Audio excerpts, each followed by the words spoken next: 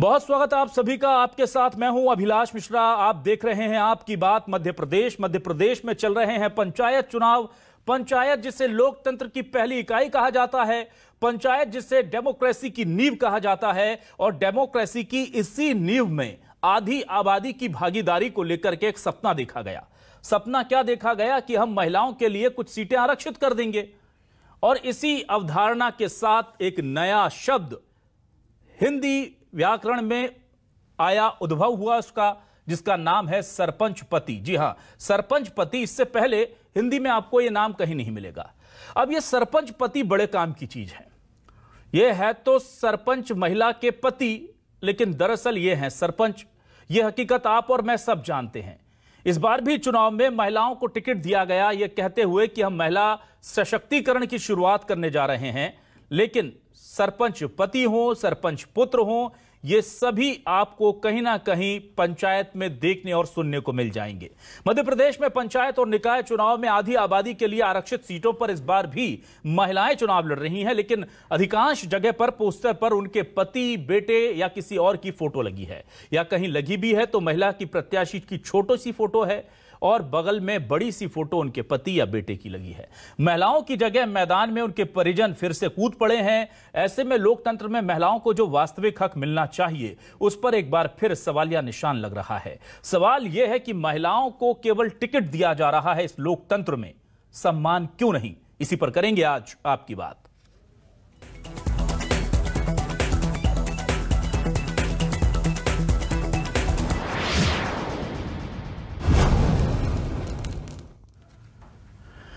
तो महिलाओं को क्या वाकई में वो सम्मान मिल रहा है जिसकी दुहाई दे दे करके राजनीतिक पार्टियाँ महिलाओं को टिकट बांटती हैं?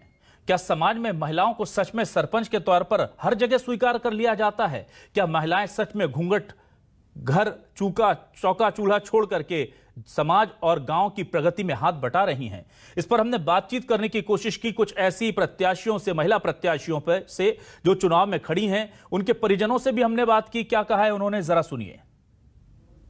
नहीं, प्रचार दोनों कर रहा है, क्योंकि वार्ड की जनता मुझे बहुत मोहब्बत करती है, मुझसे बोलती है कि आप लोगों को बिल्कुल आना चाहिए।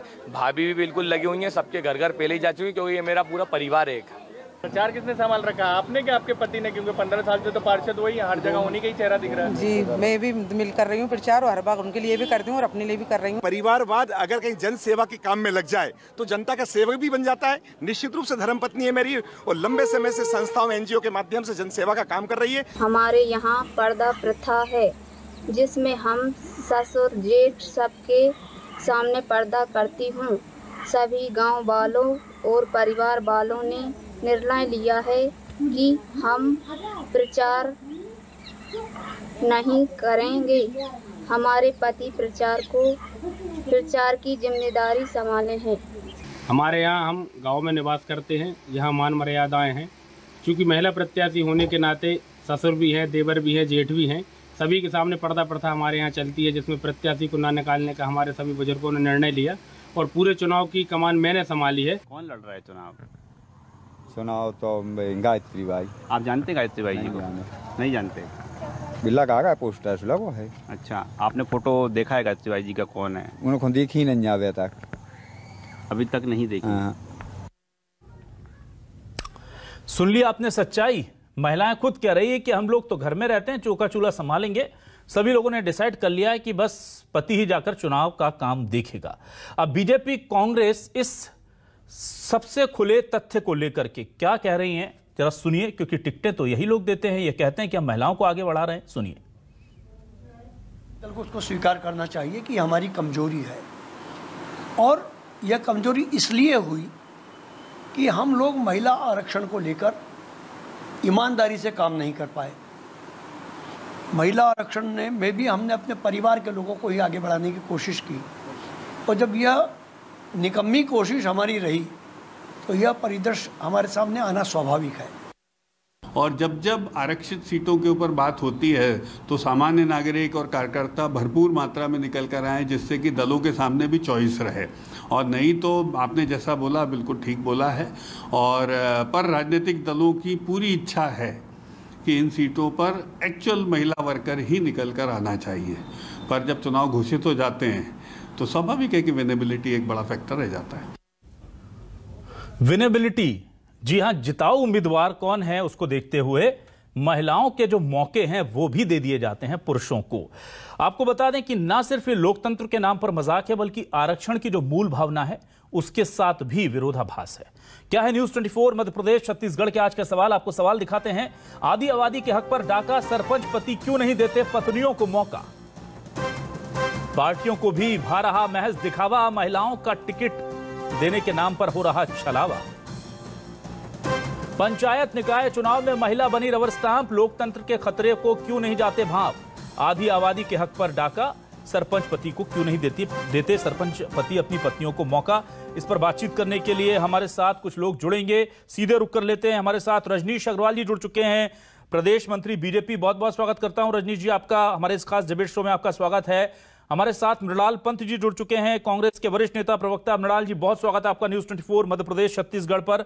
आज हमारे साथ ब्रिज त्रिपाठी जी जुड़ी हुई हैं, सामाजिक कार्यकर्ता, महिलाओं के हक में लगातार लड़ाई लड़ती हैं, आवाज़ बुलंद करती हैं। ब्रिज जी, आपका भी बहुत स्वागत और आज हमने वरिष्ठ पत्रकार मध्य प्रदेश के जाने माने चेहरे सरवन नगेली जी को आमंत्रित किया है। सरवन नगेली जी, बहुत स्वागत करता हूँ, सर, आपका न्यूज़ 24 मध्य प्रदेश, छत्तीसगढ़ पर। सबसे पहले रजनीश जी, आपके पास आता हूँ और इस ज़िम्मेदारी के साथ आता हूँ कि देश की और दुनिया की सबसे बड़ी पार्टी मध्य प्रदेश में आपके पास, देश में, केंद्र में हर जगह बहुत संख्या बल है। महिलाओं के आरक्षण को लेकर, सशक्तिकरण को लेकर आपसे उम्मीदें ज़्यादा है, ज़िम्मेदारी आपकी बड़ी है।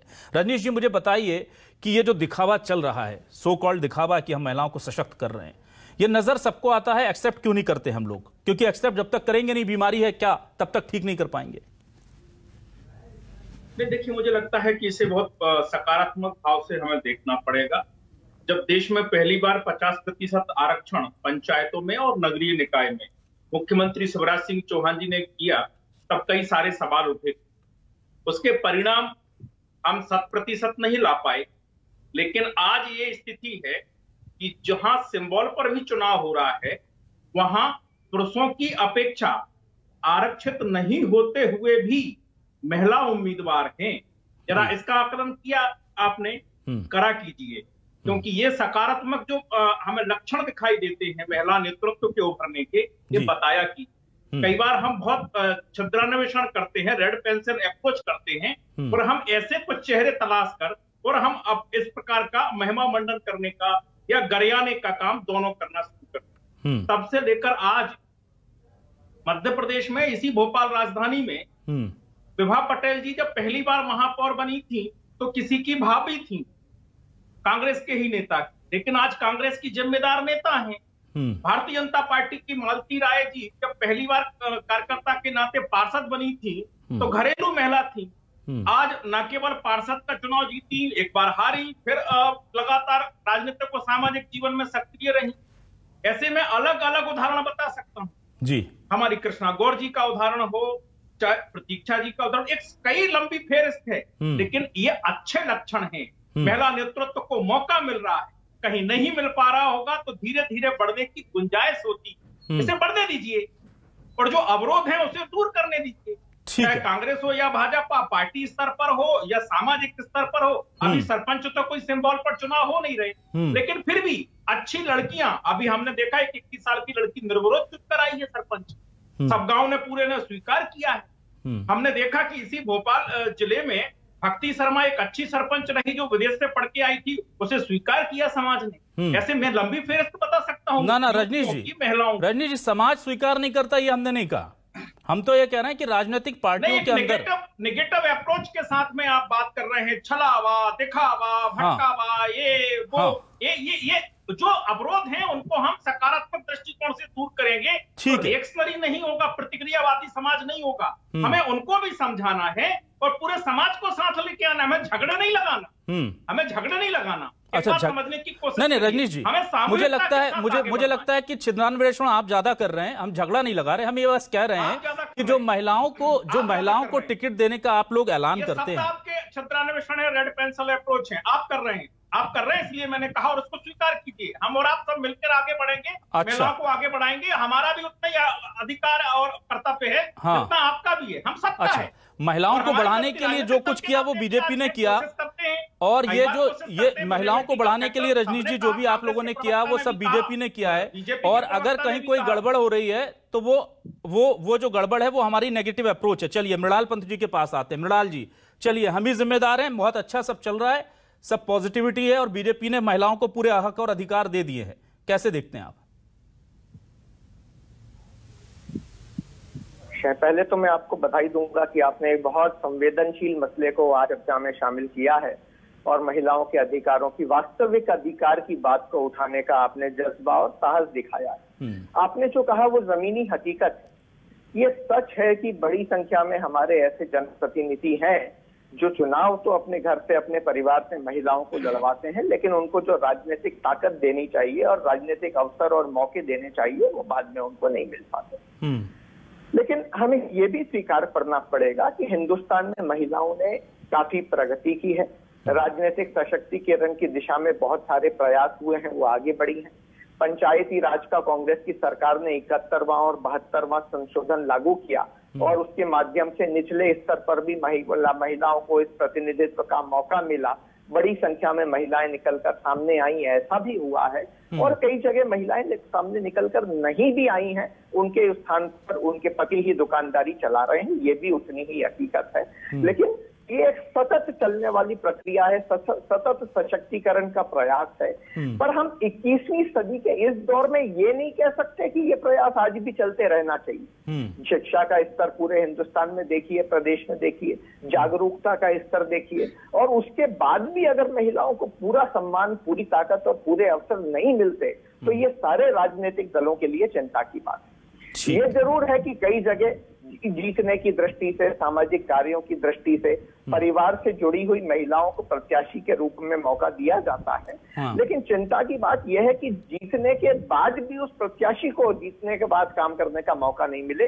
तो चिंता की बात है। चुनाव लड़ने तक की जहाँ तक बात है मुझे नहीं लगता कि वो उतना की चिंता की बात लेकिन जो सबसे महत्वपूर्ण प्रश्न है बिलास जी वो ऐसा क्यों होता है? मुझे तीन कारण समझ में आते हैं। एक महिलाओं में आत्मविश्वास और सुरक्षा को लेकर संदेह है।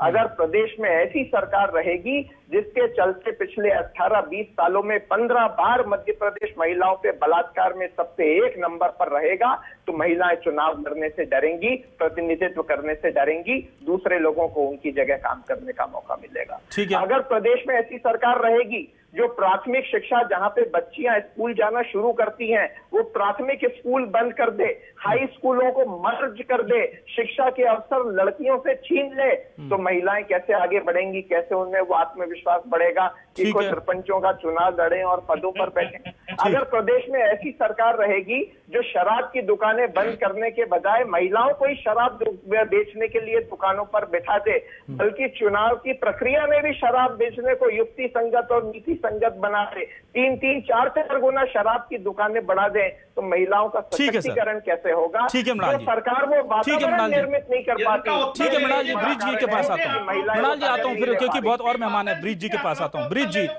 ब्रिज जी मुझे ये बताइए बीजेपी और कांग्रेस तो ज़ाहिर सी बात है, क्योंकि ज़िम्मेदारी बीजेपी और कांग्रेस की है, ऐसा नहीं है, समाज की भी ज़िम्मेदारी है।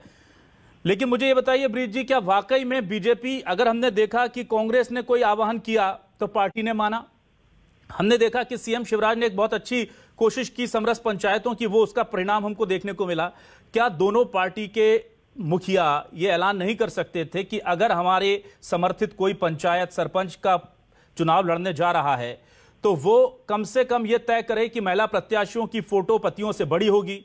वो ये तय करे कि जब भी प्रचार प्रसार होगा, उसमें महिलाओं को साथ रखा जाएगा। ये चीज़ें कम से कम डायरेक्टिव्स तो दिए जा सकते हैं ना, ताकि महिलाओं को उचित सम्मान मिले। कई पोस्टर में देख रहा हूँ, उसमें महिलाओं के फ़ोटो तक नहीं लगाए गए कुछ जगह तो लगा दिए, कई जगह तो लगाए ही नहीं है। तो आपको क्या लगता है कि पॉलिटिकल विल पावर की वजह से भी ये स्थिति है? समाज में तो हम महिलाओं के साथ दोगला व्यवहार करते ही हैं। लेकिन कम से कम पॉलिटिकल चीज़ों को भी सेंसिबल होना होगा यहाँ पर।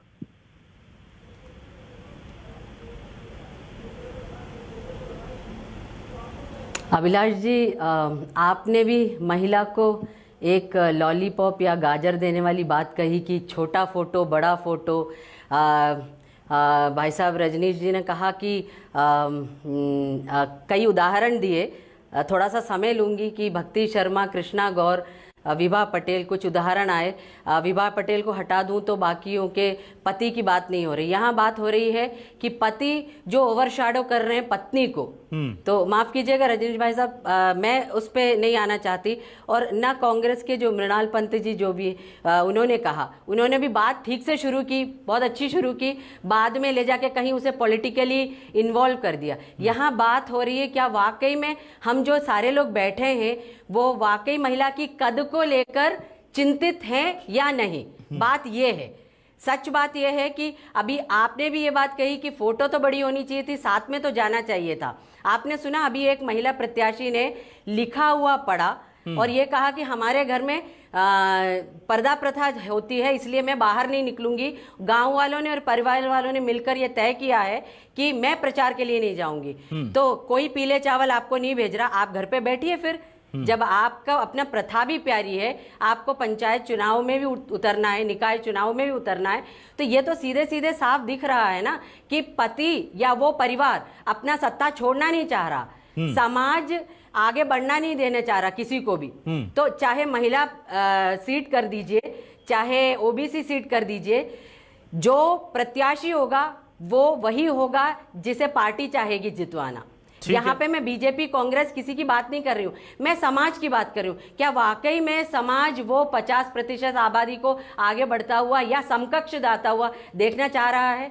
मेरे घर में पार्षद चुनाव के लिए जो महिला आई प्रचार के लिए मैंने उससे पूछा बहन जी आपको देखा नहीं? वो कहने लगे मैं 20 सालों से समाज सेवा कर रही हूँ। तो मेरे जो सवालों पे वो टिक नहीं पाई वो जवाब नहीं दे पाई क्योंकि वो उतना ही सीख कर आई थी।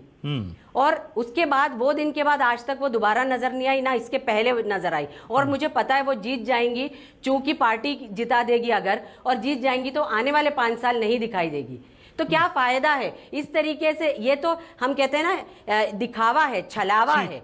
कि हाँ, महिला को दे रहे- यही शब्द तो ब्रीत जी देखिए यही शब्द तो फिर रजनीश जी को आपत्तिजनक लग रहा है कि दिखावा छलावा मत कहिए यही सब शब्दों को लेकर के तो रजनीश जी ने आपत्ति दर्ज की और नहीं नहीं ये सिर्फ़ बीजेपी की बात नहीं है ना हाँ, नहीं, उन्होंने यहाँ लिया, लेकिन वो ऐसा नहीं है। मैं- हमारा पूरा system कहा? से ये सवाल था, समाज से सवाल था। बीजेपी आप और कांग्रेस हटा दीजिए ना कांग्रेस में कितनी महिलाएँ थी नहीं नहीं नहीं अभिलाष जी कांग्रेस में कितनी महिलाएँ आगे बढ़ी? आप ये बताइए गिनी चुनी महिलाएँ।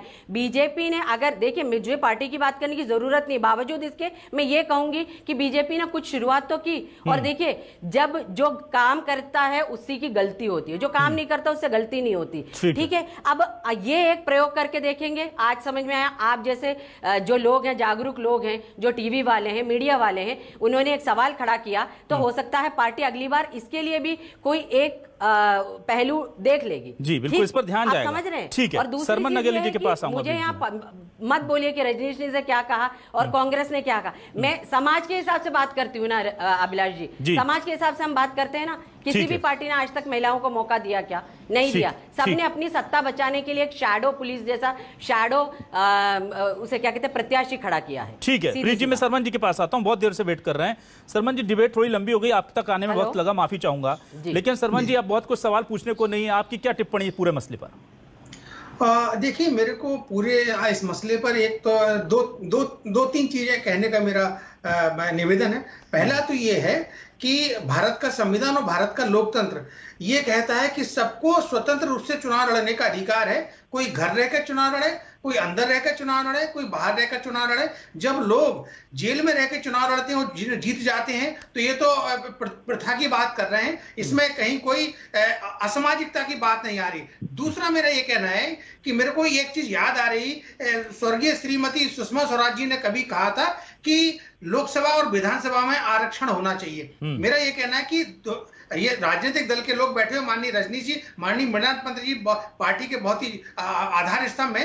ये लोग अपने दलों से कहें कि लोकसभा और विधानसभा में महिलाओं के लिए 50 प्रतिशत आरक्षण का प्रावधान करें संविधान में संशोधन कराएँ तो मध्य प्रदेश के लिए देश के लिए और महिलाओं की उन्नति के लिए प्रगति के लिए अच्छा होगा तीसरा मेरा ये कहना है कि देखिए ये ऐसी बात जो निकल कर आई है आपके चैनल ने अभिलाष जी अच्छा विषय उठाया है। ये परंपरा पहले से चली आ रही है और आगे भी रहेगी। जो रजनी जी ने भी इशारा किया कि सकारात्मक प्रोसीजर है ये और ये धीरे धीरे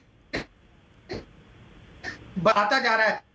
कहीं ज़्यादा है लेकिन ये बात सही है कि अभी का जो चुनाव के प्रदर्श में सोशल मीडिया के आने में चुनाव आयोग की कड़ी कार्रवाई करने में पॉलिटिकल पार्टी की सोशल मीडिया की तरफ़ ज़्यादा बढ़ने से ये जो प्रत्याशी आ रहे हैं वो महिलाओं पर पूरी तरीके से एक अच्छा संदेश लेकर आ रहे हैं और इससे क्या रहता है कि जो सोशल मीडिया के जमाने में यदि पति कुछ ए, कुछ ए, ए, उनके मतलब जैसे सैडो वाली बात आ रही उनको सैडो करके काम करता है तो सोशल मीडिया के जमाने में वो चीज़ वायरल होने लगती है। तो ये मेरा अपना ऐसा दृष्टिकोण है। ठीक है। रजनीश जी मैं यहाँ पर यह जानना चाहता हूँ कि जिस तरह से लगातार महिला अब राष्ट्रपति पद के लिए आप लोगों ने आदिवासी महिला का नाम सजेस्ट किया जो बहुत एक अच्छी अच्छी बात है इससे पहले कांग्रेस ने काम किया था।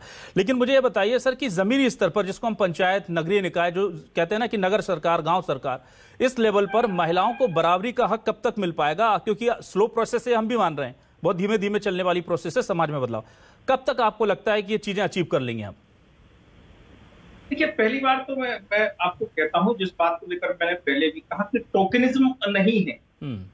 अधिकार तो मिल गया ना। पचास प्रतिशत आरक्षण स्थानीय निकायों के लिए दे दिया ना।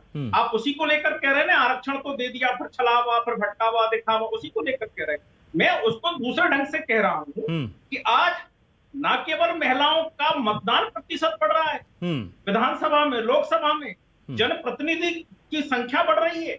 और मैं दावा करता हूँ आप रिसर्च कर लीजिए वर्तमान उम्मीदवार भारतीय जनता पार्टी के जो सिंबल पर नगरीय निकाय चुनाव हो रहे हैं आरक्षण की संख्या से ज़्यादा है।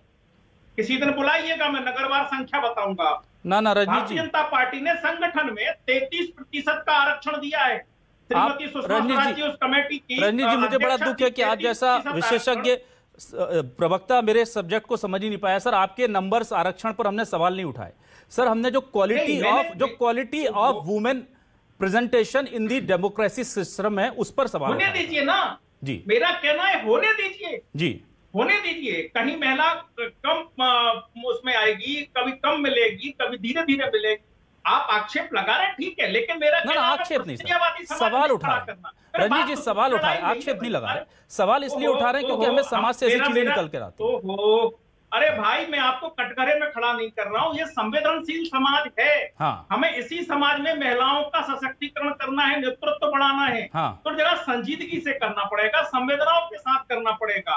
बरसों बरस पुरानी कुप्रथाएँ प्रथाएँ नहीं कुप्रथाएँ भी चल रही हैं उनको भी तोड़ने के लिए हमें बहुत संवेदना से अच्छा रजनीश जी रजनीश जी मुझे बस रजनीश जी एक एक एक छोटा सा चूँकि मुझे पता है कि आपकी बातों को पार्टी में बहुत गंभीरता से लिया जाता है एक छोटा सा मेरी रिक्वेस्ट समझ लीजिए सजेशन समझ लीजिए क्या अगली बार जब कभी होगा तो आप अपने कार्यकर्ताओं से स्पेशली ये कह सकते हैं कि भाई महिला अगर प्रत्याशी है तो उसकी उसकी प्रेजेंस उसका काम दिखना चाहिए चाहे वो पोस्टर हो चाहे प्रचार हो चाहे काम हो। तीनों जगह उसका काम। ये एम्फेसिस तो कर सकती है ना पार्टी अपने प्रत्याशियों पर अपने कार्यकर्ताओं को लेकर? एग्जैक्टली exactly, बिल्कुल। मुख्यमंत्री शिवराज सिंह चौहान जी सरेआम भाषण में कहते हैं भारतीय जनता पार्टी किसी पति को बैठक में नहीं बुलाती। स्वयं जो पार्षद चुनी हुई पार्षद है अप्रत्याशी है उसको बैठक में बुलाती है। तो पति जो होता है वो अनापेक्षित होता है बैठक में। ठीक है।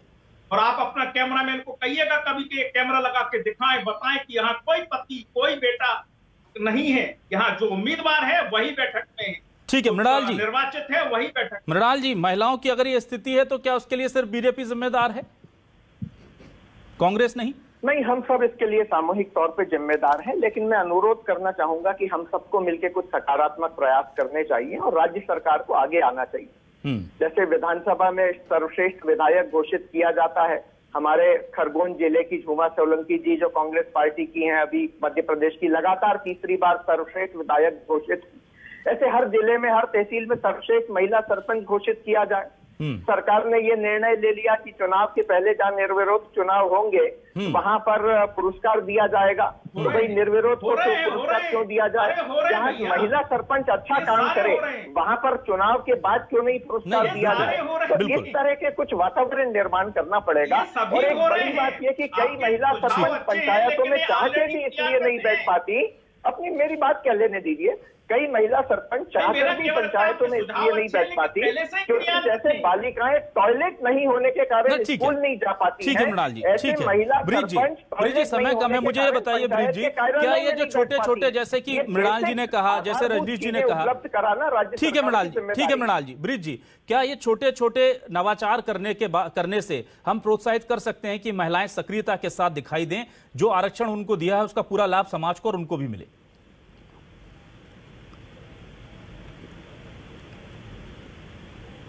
जी बिल्कुल।